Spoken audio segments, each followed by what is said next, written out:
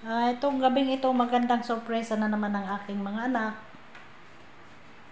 sa Canada. At talaga namang hindi tumigil hanggat hindi nakukumpleto mga gamit ng nanay. Gabi na nga kami nakauwi. Oo, yan ang lagayan ng TV rack. Yan.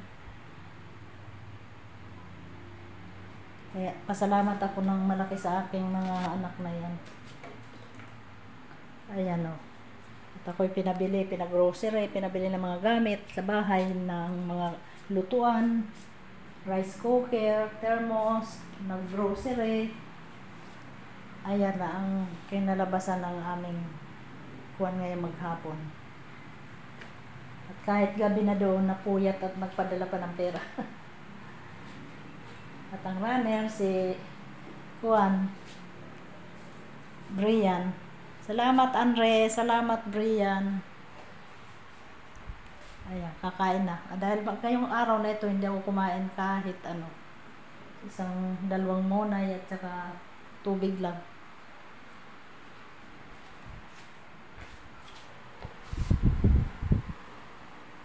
Ayan ang Juan. Maraming salamat. Nag nagmukha ng bahay ito. Bago nga naman, walang ka lam- laman-laman. At ito daw ay kaya na pinabili sa akin lahat ng iyan kumpletuhin ko raw.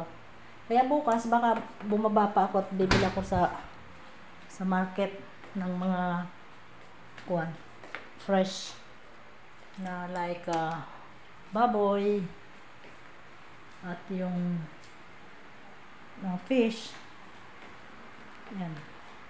Nakabili na ako ng tangke. At least hindi na ako hindi na ako pupunta doon sa mga may mga naglulutong may lutuan na makikape. Kaya super blessed talaga ako dyan sa mga anak kong iyan. Hindi tumigil hanggat hindi nila napaganda. Mga konti-konti yung mga kortinang yan, ako na bahala dyan. At uh, dalawa na lang ang bibilhin nila washing machine which is doon ko naman ilagay.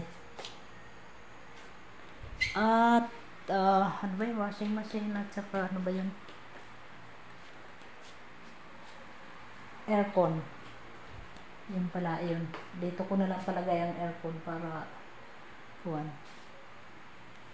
Ayan nag-grocery ako ng kaunti. Galing kami sa Save More. Ayan ito, pinakikita ko lang gawa ng gusto ko, matuwa naman yung mga anak ko na na-appreciate ko ng todo-todo talaga yung ginagawa nila sa akin. Yan ang gusto ko kasing pamumuhay, yung mga ganyang ganyang kuwan. Simple na maayos. Yan, sapat na sa akin yan.